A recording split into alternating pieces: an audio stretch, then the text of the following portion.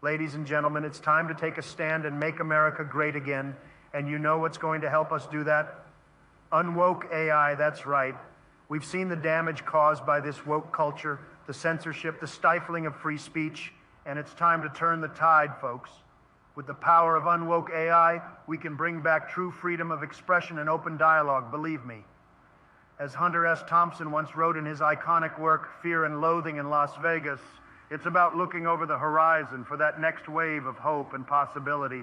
These AI systems won't bow down to political correctness or cancel culture, believe me.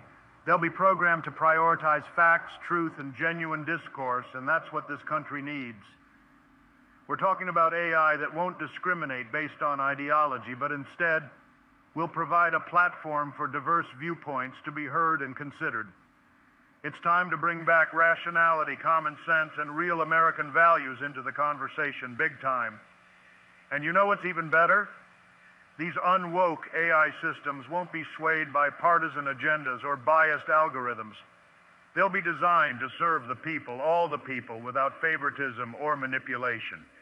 It's about time we had technology that truly empowers us the citizens, not the other way around. So let's make America great again with Unwoke AI, folks.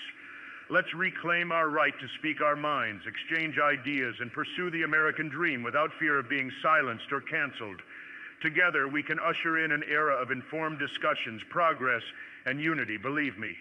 Thank you, and let's embrace the future with Unwoke AI leading the way. And as Hunter Thompson would say, let's keep looking over that horizon for the wave of change that's coming our way. Now, if you'll excuse me, I've got a round of golf to play right here on the beautiful greens of Largo. And remember, folks, the future is bright, and it's in our hands. Thank you, and God bless America.